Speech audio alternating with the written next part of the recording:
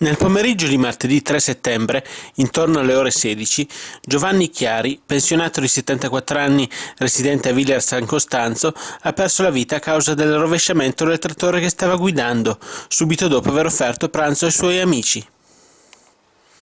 L'incidente è avvenuto in borgata Fonza di Villa San Costanzo, mentre l'uomo si stava dirigendo in un bosco di sua proprietà per tagliare della legna. In quel momento il trattore stava attraversando una strada particolarmente ripida e l'uomo ha perso il controllo del mezzo che si è rovesciato di un lato.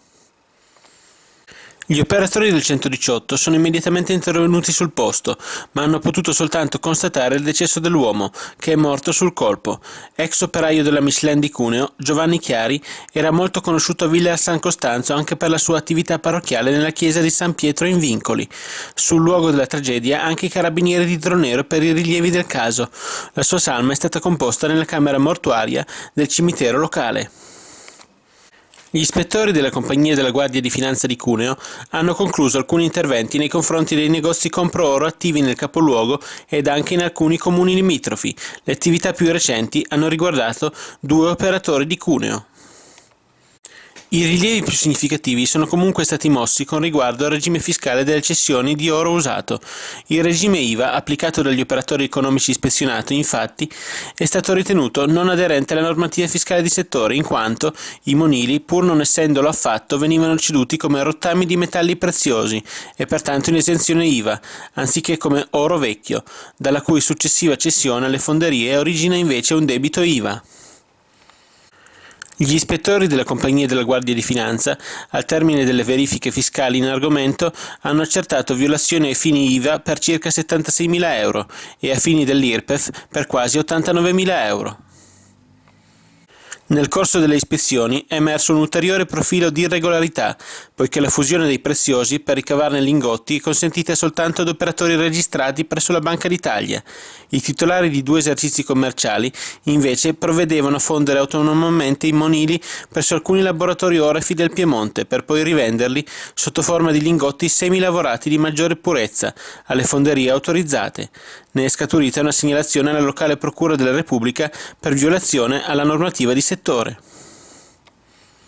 Questi controlli si sommano ad analoghi interventi condotti precedentemente ed avviati aderendo alle direttive impartite a livello centrale nei confronti di altri operatori del settore attivi in Busca e Boves. Anche nel corso di tali attività sono stati mossi rilievi fiscali significativi con l'emersione in un caso di cospicue cessioni in nero di preziosi. Nel complesso gli interventi condotti dalla Compagnia di Cuneo nei confronti dei compro oro del capoluogo dei comuni limitrofi hanno consentito di segnalare il recupero e la tassazione per circa 570 44.000 euro di imposte dirette e circa 278.000 euro di IVA dovuta. Da alcuni giorni gli uomini del nucleo operativo della Compagnia dei Carabinieri di Savigliano stavano monitorando i movimenti di un operaio addetto alla manutenzione di caldaie di un'azienda saviglianese.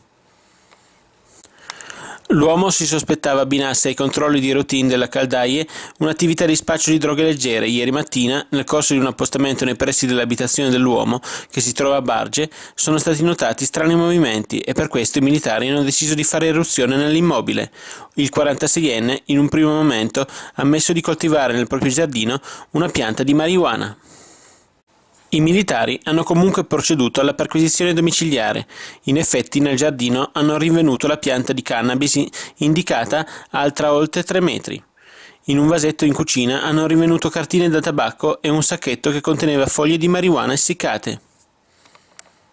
In un congelatore l'operaio custodiva topi pulcini morti che dava da mangiare ad un animale selvatico. Sotto le scatole con gli animali morti i militari hanno rinvenuto cinque barattoli di vetro chiusi ermeticamente, che contenevano circa 210 grammi di sostanza stupefacente del tipo marijuana pronta per essere venduta. L'uomo, per queste ragioni, è stato dichiarato in stato d'arresto per il reato di detenzione ai fini di spaccio di sostanze stupefacenti e per produzione di sostanze stupefacenti è condotto presso il carcere di Saluzzo in attesa della convalida dell'arresto arresto. I sindaci di Langheroero anche martedì 3 settembre davanti al tribunale di Alba in presidio. Dopo la nottata in tenda, la mattina di martedì si sono divisi, alcuni hanno presidiato l'ingresso e raccolto firme in piazza Medford, mentre un altro gruppo è rimasto all'entrata del foro in piazza Sarti.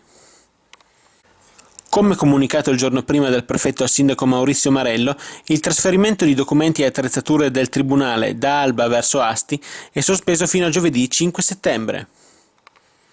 Mercoledì 4 settembre alle ore 6.30 sindaci, dipendenti del Tribunale e cittadini partiranno in pullman da Piazza Sarti, di fronte all'Hotel I Castelli, per Roma, dove alle ore 17 una delegazione incontrerà il Ministro della Giustizia Anna Maria Cancellieri, guidata dal Presidente della Regione Piemonte Roberto Cota. Il presidio davanti al Foro Albese continuerà anche mercoledì, con i rappresentanti dei sindaci che non andranno a Roma.